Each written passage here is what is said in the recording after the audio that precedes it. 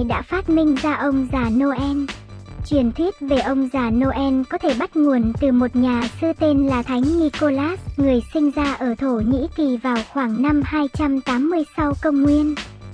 Thánh Nicholas đã cho đi tất cả tài sản thừa kế của mình và đi khắp vùng nông thôn giúp đỡ người nghèo và bệnh tật được biết đến như người bảo vệ trẻ em và thủy thủ.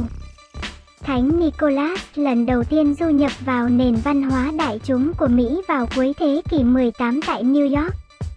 Khi các gia đình Hà Lan tụ họp để tôn vinh ngày mất của Saint Nicholas, tiếng Hà Lan có nghĩa là Thánh Nicholas, gọi tắt là Sinterklaas. Santa Claus lấy tên của ông từ chữ viết tắt này.